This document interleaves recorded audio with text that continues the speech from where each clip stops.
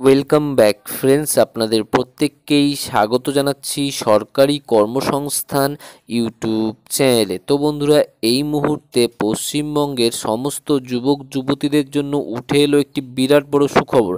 অবশেষে রাজ্যের মুখ্যমন্ত্রী মাননীয় মমতা ব্যানার্জি ঘোষণা করে জানিয়ে দিলেন যে এবার রাজ্যে নিয়োগ হবে ইন্টার্নশিপ ছাত্রছাত্রীদের মধ্য থেকে নিয়োগ করা হবে এই ইন্টার্নশিপ যারা প্রতি মাসে পাবেন পাঁচ হাজার টাকা করে ভাতা। তো বন্ধুরা, সে নিয়ে আজকের গুরুত্বপূর্ণ আপডেটটি আমি আপনাদের সাথে শেয়ার করতে যাচ্ছি, যে কারা কারা এই ইন্টার্নশিপ পদের জন্য আবেদন করতে পারবেন, কীভাবে আবেদন করবেন, সমস্ত খুঁটিনাটি তথ্য ডিটেলস এই ভিডিওতে জানাব। তার আগে আপনাদের কাছে একটি রিকোয়েস্ট যদি আপনারা এখনও পর্যন্ত আমাদের চ্যানেলটিকে সাবস্ক্রাইব করে না থাকেন, তো চ্যানেলটিকে সাবস্ক্রাইব করে পাশে রাখবেন। ভিডিওটি ইনফরমেটিভ মনে হলে অবশ্যই প্রচুর লাইক এবং শেয়ার করতে ভুলবেন না।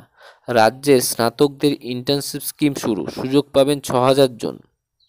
রাজ্যে যুবক যুবতীদের আইএএস ও আইপিএস পরীক্ষায় উত্তীর্ণ হতে সাহায্য করার জন্য বিশেষ উদ্যোগ আগেই নিয়েছে মমতা বন্দ্যোপাধ্যায় সরকার। এই সরকারি এবার সদ্য স্নাতক যুবক যুবতীদের হাতে কলমে সরকারি কাজকর্ম শেখার সুযোগ করে দিল।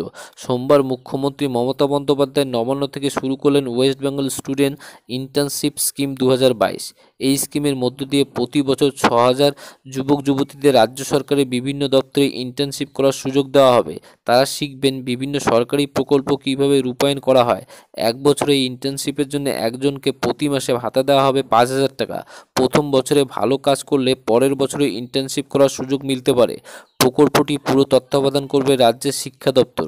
যুবক যুবতীদের বাছাই করার জন্য থাকবে মুখ্য সচিবের নেতৃত্বাধীন একটি বোর্ড। প্রার্থীকে স্নাতক স্তরে অন্তত ষাট শতাংশ নম্বর পেতে হবে। পলিটেকনিক এবং আইটিআই উত্তীর্ণরাও এই ইন্টার্নশিপ করার জন্য আবেদন করতে পারবেন। আবেদনকারীকে অবশ্যই এ রাজ্যের বাসিন্দা হতে হবে। আবেদনের সর্বোচ্চ বয়সসীমা রয়েছে চল্লিশ বছর। আবেদনকারী যে এলাকার বাসিন্দা হবে তার নিকটবর্তী সরকারি অফিসেই তাকে ইন্টার্নশিপের ব্যবস্থার সুযোগ করে দেওয়া হবে। মুখ্যমন্ত্রী জানান ইন্টার্নশিপ সফলভাবে সম্পন্ন হলে। কাজের গুণমান বিশ্লেষণ করে সারা বিশ্বে গ্রহণযোগ্য সংশয়পত্র দেওয়া হবে রাজ্য সরকারের তরফ থেকে। তো বন্ধুরা, এই ছিল এই মুহূর্তে পশ্চিমবঙ্গে ইন্টার্নশিপ স্কিম নিয়ে উঠে আসা আজকের গুরুত্বপূর্ণ আপডেট, যেখানে কিন্তু রাজ্য সরকারের তরফ থেকে এবার প্রতি বছর ছ জন যুবক যুবতীকে নিয়োগ করা হবে।